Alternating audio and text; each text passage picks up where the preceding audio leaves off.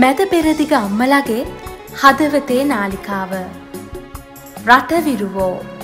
අපගේ YouTube නාලිකාව ඔබත් සබස්ක්‍රයිබ් කරන්න. පහල තියෙන බෙල් අයිකන් එක ක්ලික් කරන්නත් අමතක කරන්න එපා.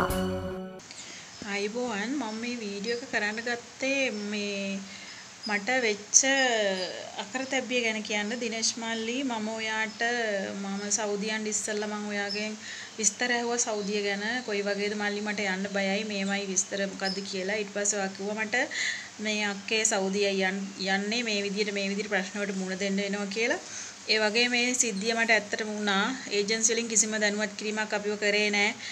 කුරුණෑගල නිව් සිටි ඒජන්සියෙන් තමයි මම ගියේ. අපේ ගමේම සබ්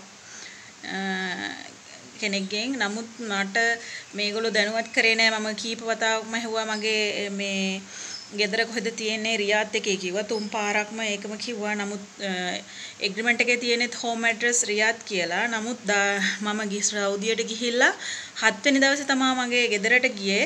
Eh, පැය 21ක් මම බස් එකේ ගියා. කිසිම කෑමක් බීමක් අපිට කිසිම දෙයක් නැතුව පිරිමි ගොඩාක් මැද්දේ තනියම බස් එකේ අඬ අඬ ගියේ.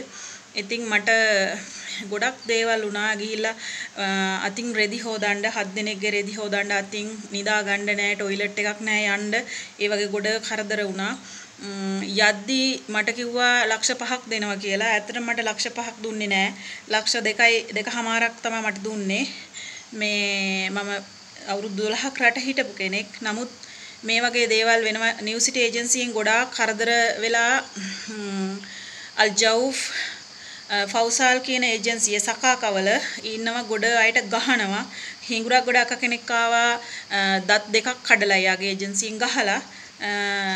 ඉතින් ඔයගොල්ලෝ ගොඩ කරදර වෙච්ච අය ගොඩ කරදර වෙච්ච අය ඉන්නවා ඒජන්සියෙන් හරියට ගහනවා. අපි අසරණ වෙලා ගෙදර කරදර නිසා ඒජන්සි ගිහම ඒජන්සියෙන් ගහනවා. ඇත්තටම මම සෞදි යන ඔයාලට කියන්නේ ඇත්තටම වෙන රටකට යන්න. එහෙම නැත්නම් කාට හරි හෝ කියලා වීසා එකක් ගෙන්නගෙන යන්න. මේ සෞදියේ ගොඩක් කරදර හිරිහැර වෙනවා. අපිට ඒජන්සියෙන් කිසිම වගකීමක් දරන්නේ නැහැ.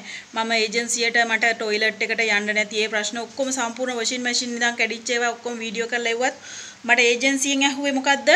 ලංකාවේ ගෙදර රෙදි හොදනවා වොෂින් මැෂින් එකේද කියලා. අපේ රටේ ඒ තරම් මේ බර ඇඳුම් ඒ වගේ අපහසුතා මේ අපහසුවෙන් හොදන්න තරම් ඇඳුම් නැහැනේ.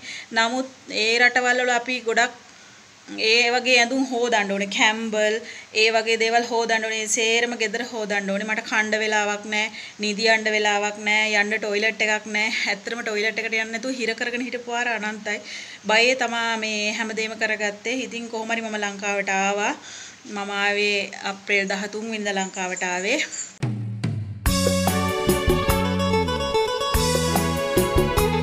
මැද පෙරදිග අම්මලගේ හදවතේ නාලිකාව.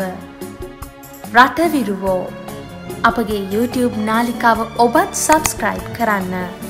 පහල තියෙන බෙල් අයිකන් එක ක්ලික් කරන්නත් අමතක කරන්න එපා.